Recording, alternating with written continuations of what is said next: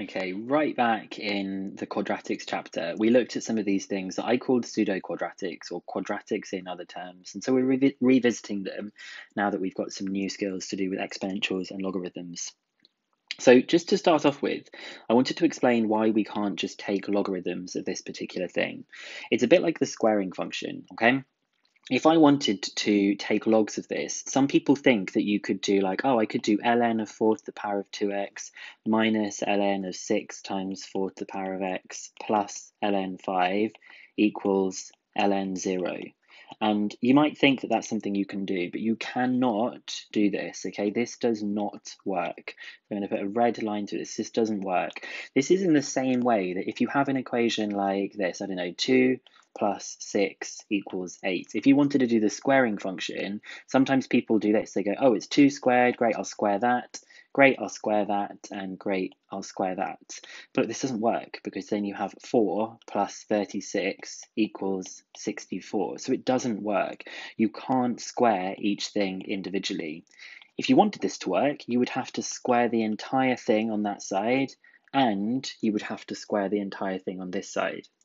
So we're not going to do this method, but if you wanted to take logs, you would have to take logs of 4 to the power of 2x minus 6 times 4 to the power of x plus 5 equals ln of 0. Okay? And so ln of 0, I think we're going to come into some issues with ln of 0 anyway, so we wouldn't be ever doing ln of 0.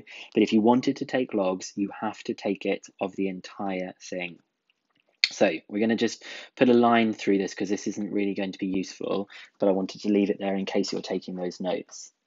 Instead, this is actually going to be a type of quadratic. What you'll notice is this power that we have at the beginning is double this power that we've got here. So you may be able to recognize this straight away, but I'm going to try and um, show you that this is a quadratic equation. What I'm going to do is I'm going to let y equal 4 to the power of x. Now, what is going to be 4 to the power of 2x? Well, it's going to be y squared. Let me just quickly show you why.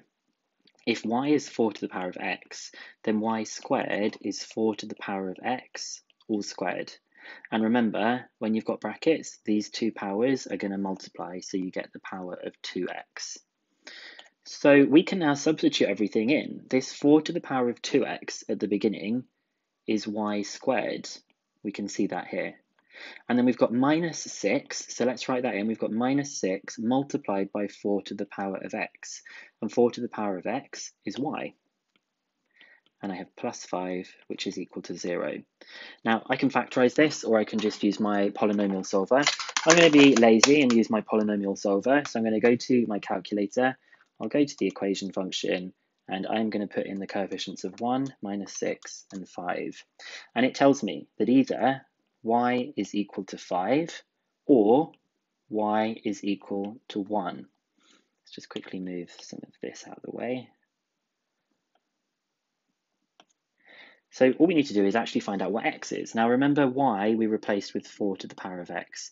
So we've got 4 to the power of x equals 5, or we've got 4 to the power of x equals 1. Well, this one you can do without your calculator. Clearly, x has got to be equal to 0. And for this one, we can rewrite this statement that the log power, sorry, of base 4 that gives you 5 is x. So we're just going to say what that is as a decimal.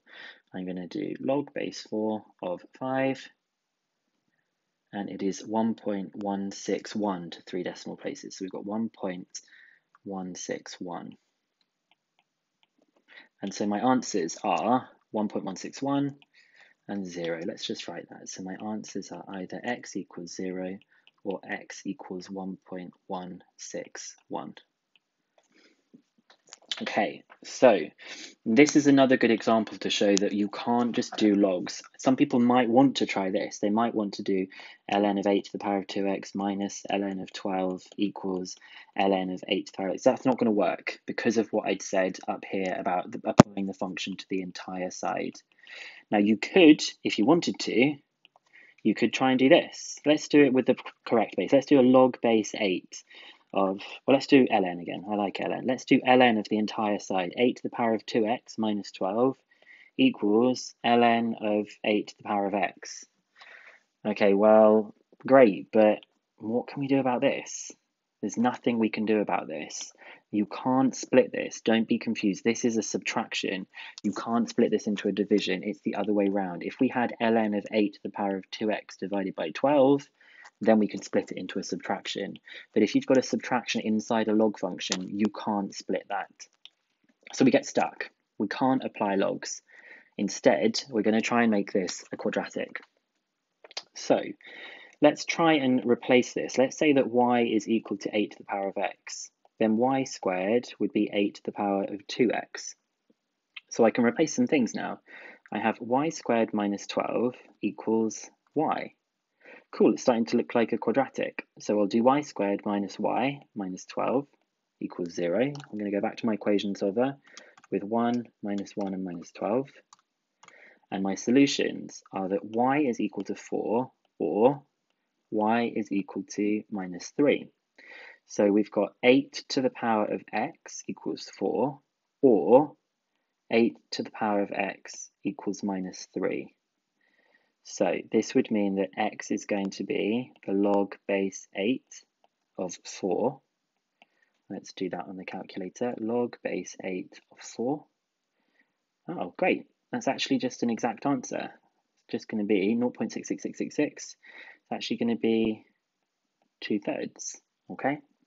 Kind of makes sense actually. 8 to the power of 2 thirds is going to be 4. Yeah, because the cube root of 8 is 2, and 2 squared is 4. So I don't even need to, oh, they did ask for three decimal places, so I guess I should do 0.667, but we can give it an exact form. I want you to think to yourself, what's the solution going to be for this one? Well, there is going to be no solution. We know that exponential functions are always greater than 0. So 8 to the power of x is always greater than 0 for all values of x. So there are, for this one, no solutions. I'll show you what happens if I try to do log base 8 of minus 3. Log base 8 of minus 3, we get this uh, complex number here, which means that it doesn't have any real solutions. So this one has no solutions. So the only answer that we have is this one that we've got here. Okay, I'm not going to do that demonstration before of like, oh, we can't take logs because of this bit where we've got them being subtracted. So instead what we're going to do, um, I mean, maybe we could do this one in a different way. I might try it in a second way. I can see that there's possibly a way that we could do this, but we're going to try it using the, the pseudo-quadratic method first of all. So let's say that y is going to be equal to 3 to the power of x. We're going to need to do a little bit of messing around here to see what else we get. So y squared would be 3 to the power of 2x. We've also got this 3 to the power of x plus 1 that we need to deal with. Well, remember your index laws. This is 3 to the power of x multiplied by 3 to the power of 1. So we could actually say this is going to be y multiplied by 3 or 3y. So now I know this thing is 3y, this thing is y squared, and then we've just got the minus 4 here. So let's try it. We're going to say the first one was 3y. We've then got the 3 to the power of 2x, which is y squared. And then we've got minus 4. So it's a quadratic. So it's like another quadratic. So we're going to do y squared minus 3y minus 4. I'm going to go back to my calculator. I'm going to put the coefficients as 1, minus 3, and minus 4. And so I get that y is equal to 4, or y is equal to minus 1. Let's go up here. So if y is equal to 4, that is 3 to the power of x equals 4. So x is going to be the power of 3 that gives me the answer 4. Log base 3 that gives me 4 which is 1.262 to three decimal places.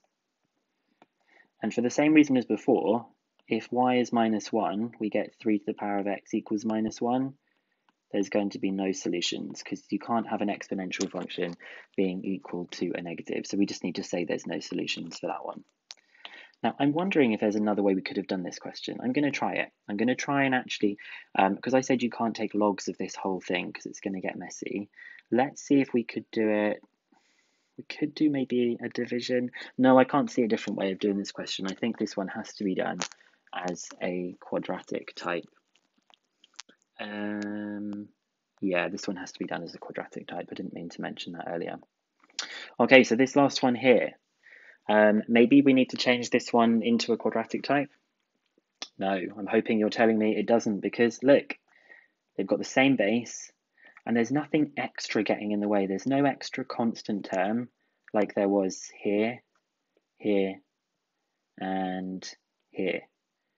So because there's some extra constant terms that we had to make them into quadratics, this one there is no extra constant term. So this one is actually a bit of a trick question. This one is not like the others. It's just like the equations in the previous video.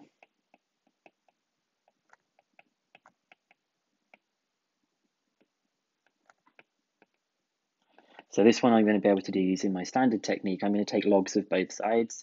So if you want, this one we could, because they've both got a base of 5. I've got 5 to the power of x plus 1 equals 5 to the power of 2x minus 4. If I took logs of log base 5 of both sides, it's going to be really quick.